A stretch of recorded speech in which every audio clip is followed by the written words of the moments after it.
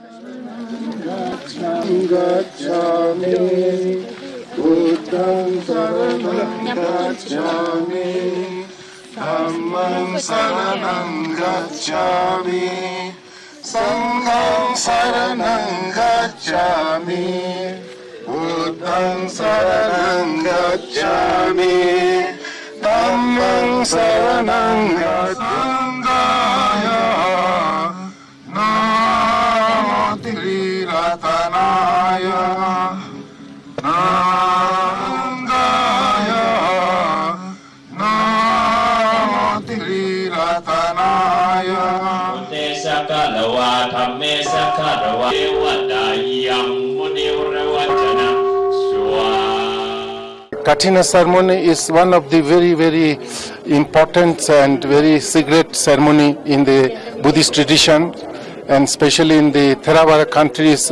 All the Buddhist people come together uh, at different monasteries to celebrate this Kathina.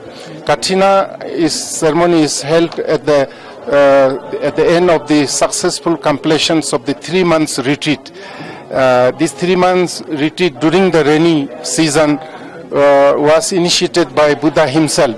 For, from the time of Buddha, all the monks, the followers of Buddha, during this rainy season, three months, they do not move to different places. They stay in one place, totally devoted to practice of meditation, study of uh, the Buddha's teachings.